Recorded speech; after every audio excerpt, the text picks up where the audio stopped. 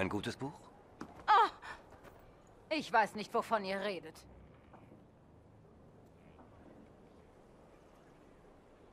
Nein?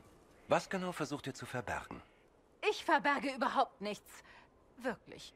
Doch, ich denke, das tut ihr. Ich bin mir sicher, es ist nichts, was euch interessieren würde.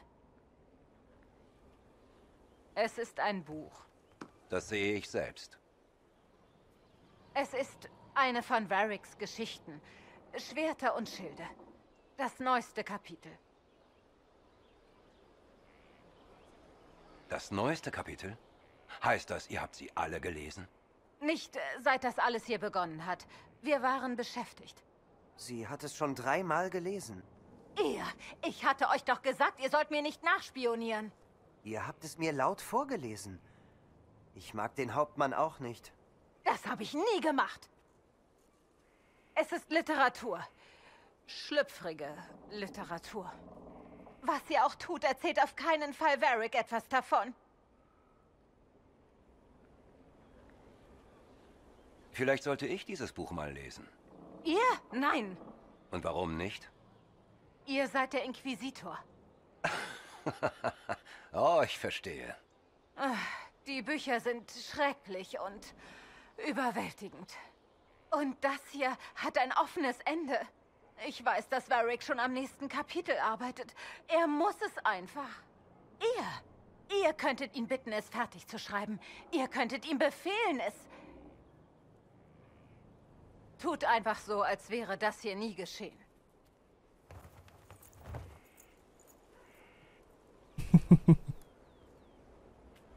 Hm.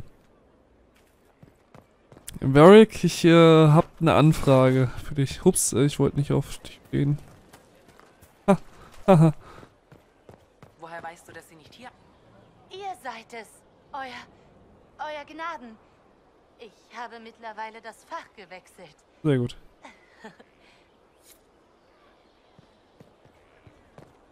Sehr, sehr gut.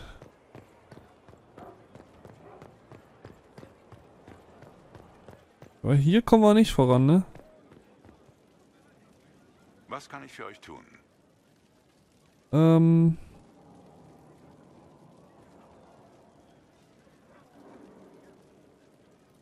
Ich habe eure Geschichte des Champions gelesen und hätte ein paar Fragen dazu. So geht es den meisten. Nur zu, schießt los. Man sieht sich. Ich hätte gerade etwas Zeit, falls ich was für euch tun kann. Cassandra wartet auf den nächsten Band von Schwerter und Schilde. Ich muss was an den Ohren haben. Das klang gerade, als hättet ihr gesagt, Cassandra würde meine Bücher lesen. Was ist daran so überraschend? Ihr kennt Cassandra doch, oder? Wartet, ihr meint diese Schmonzetten? Da kann sie lange warten. Ich habe nicht vor, den nächsten Teil fertig zu schreiben. Das sind die schlechtesten Romane, die ich je verfasst habe. Letzte Band hat sich gerade mal so gut verkauft, dass ich die Tinte bezahlen konnte.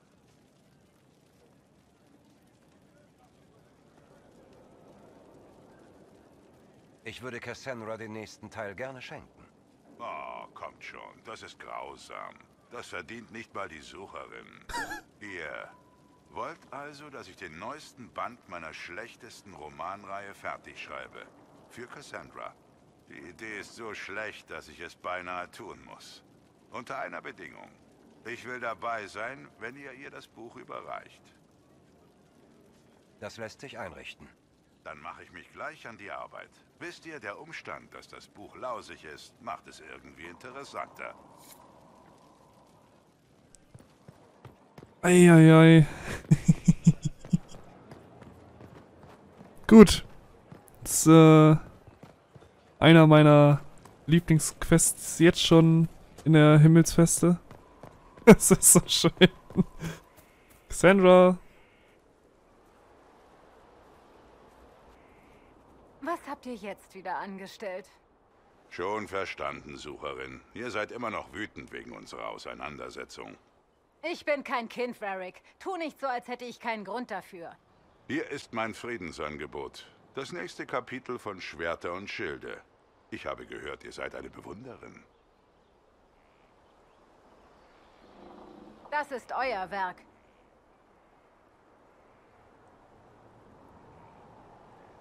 Ich hatte gehofft, ihr würdet euch darüber freuen.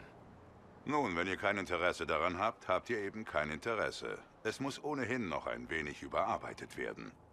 Wartet! Ihr fragt euch vielleicht, was dem Hauptmann nach dem letzten Kapitel zugestoßen ist. Ihr sollte überhaupt nicht zustoßen. Die Anschuldigungen gegen sie waren haltlos.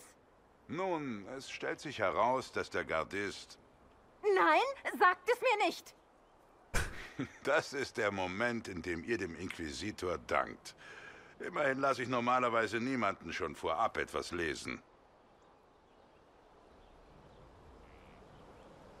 Ich danke euch.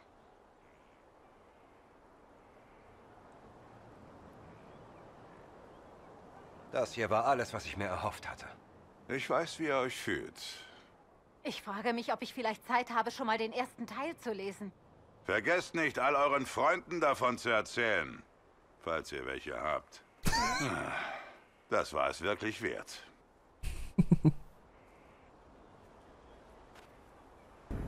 Falls ihr welche habt. Ach komm! Merrick, das, das, das ist unfair. Arme Cassandra. Arme, arme Cassandra. Sucht ihr jemanden, dem ihr das Ohr abkauen könnt? Tja, ihr habt ihn gefunden. Oh, cool. Ja, habe aber gerade kein Interesse daran, jemandem das Ohr abzukauen. Äh, gehen wir zu Josephine.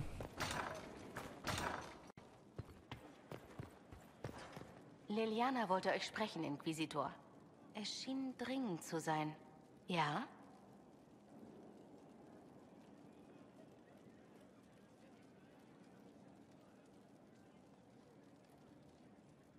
Auf einer... Wo ist Liliana? Liliana war oben, ne?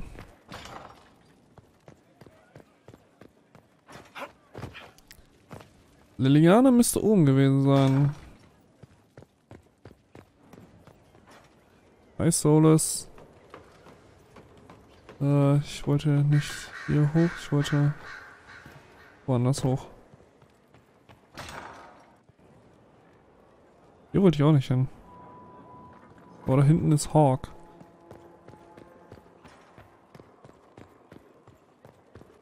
Solus muss auch denken, dass ich zu blöd bin, um in meiner eigenen Festung umzulaufen. Schließlich weiß ich ja nicht einmal, wo ich hin muss. Hier kommen wir wieder runter. Ich weiß aber gar nicht mehr, wo ich hin muss. Liliana. Unsere Spione sind auf weitere von Korypheus Anhängern gestoßen, auf diese sogenannten Venatori. Ihre Anführerin Calpernia lässt sie elfische Ruinen durchsuchen. Warum, weiß ich allerdings nicht. Ich schlage vor, wir halten die Venatori auf, bevor sie gefunden haben, wonach sie suchen. Wisst ihr irgendetwas über Calpernia? Nur, dass Calpernia ein Name aus einer alten Legende Tevinters ist. Einer ungewöhnlichen Legende. Sie war eine Priesterin Dumas und die Ziehmutter des Reichsgründers. Ein derartiger Name soll die Venatori davon überzeugen, dass sie in die Fußstapfen von Legenden treten. Wir müssen ihnen beweisen, dass dem nicht so ist.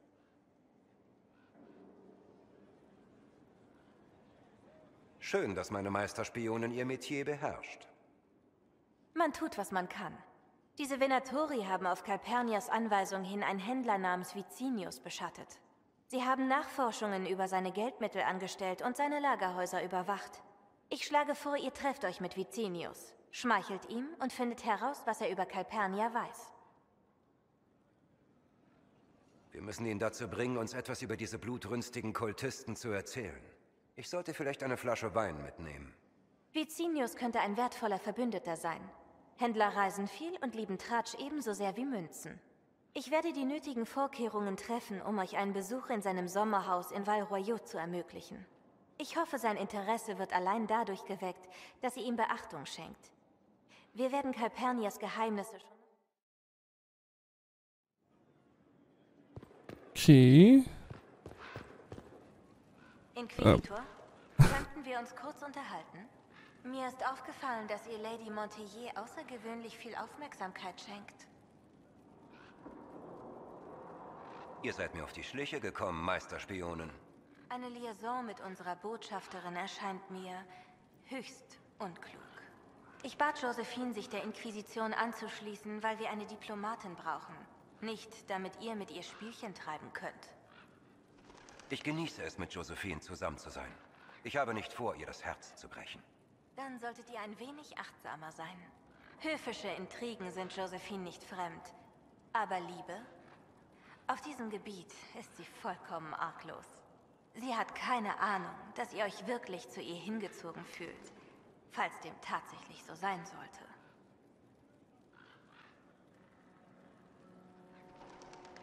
Ja, ich fühle mich sehr zu Josephine hingezogen.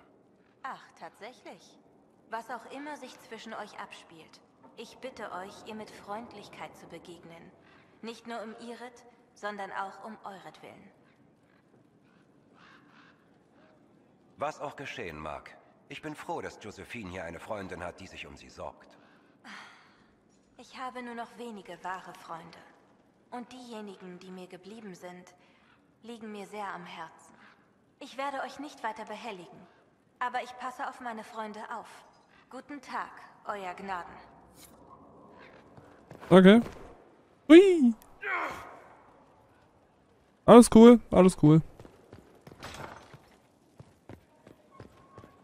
So. Das bin ich. Josephine. Also, Leliana hat mir gerade einen ziemlichen Vortrag gehalten. Um was ging es denn? Um uns. Sie ist wirklich unmöglich. Könnten wir das vielleicht irgendwo besprechen, wo wir ungestörter sind? Liliana hat gesagt, ich wäre auf dem Gebiet der Liebe vollkommen arglos? Mehr oder weniger. Bei allen. Ich bin durchaus in der Lage, unsere Verbindung zu begreifen.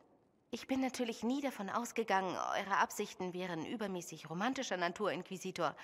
Das versichere ich euch.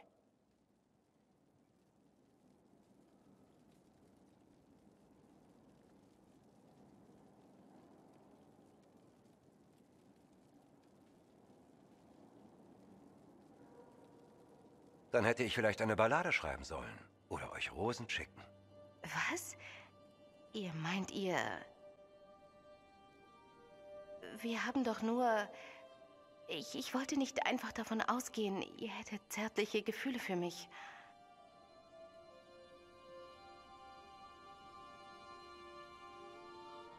Ich will nicht abstreiten, dass ihr mich fasziniert, Josephine. Aber wir kennen uns doch erst seit wenigen Monaten. Wie könnt ihr nach so kurzer Zeit schon derartige Gefühle für mich entwickeln?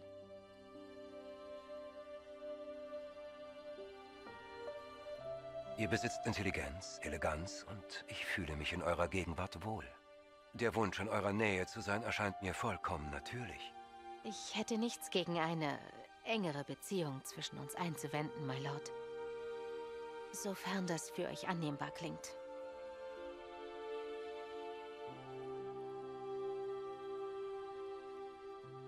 Nichts würde mich glücklicher machen. Nun, also...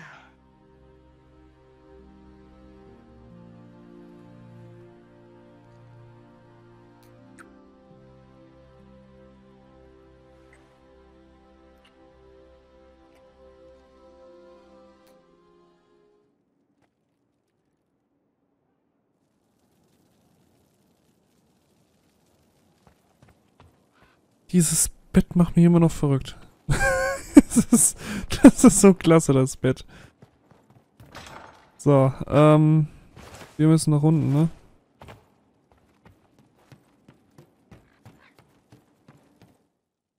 Haupthalle!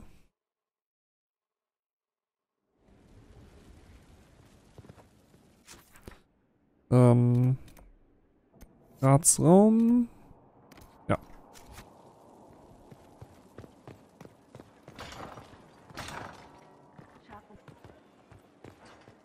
Geht es euch, my Lord? Ich werbe um die schönste Frau in der gesamten Burg. Wie sollte es mir da schon gehen? Oh, du meine Güte. Das ist zu viel der Speichelei. Wie weit reichen eure orlesianischen Wurzeln zurück? Oh, sehr weit. Die Montilliers besaßen einst sogar gewaltige Besitztümer im Val Royaux. Ich wünschte, ich hätte sie mir ansehen können. Vor allem jene, auf denen unser Familienwappen prangte. Nach unserer Verbannung aus der Stadt wurde das ursprüngliche Wappen aufgegeben. Ich habe mir immer gewünscht, noch irgendwo ein Exemplar zu finden.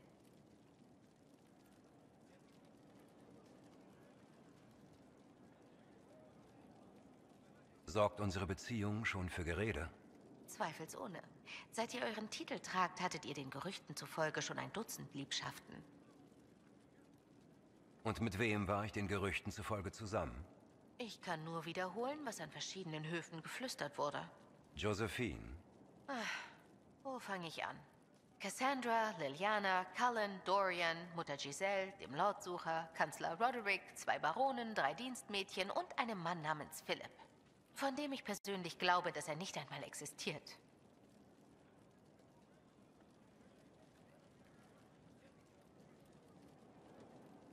Wieso war Liliana so vehement dagegen, dass wir zusammen sind, Josephine? Denkt euch nichts dabei. Sie würde jeden ablehnen, auf den ich mich ernsthaft einlassen könnte. Damals in Val Royaux war Liliana im Grunde so etwas wie meine ältere Schwester. Ihr beide habt also keine romantische Vergangenheit. Eine romantische... mit Liliana? Sie ist mir eine teure Freundin. Weiter nichts. Ich dachte, wir könnten uns vielleicht eine Weile irgendwohin zurückziehen, wo wir ein wenig ungestörter sind. Ich habe so viel zu tun, aber...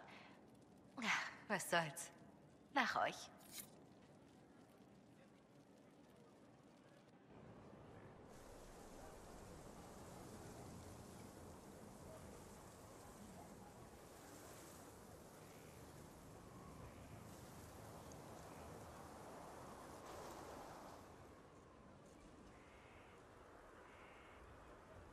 Dann äh, suchen wir am besten nach Josephines Wappen.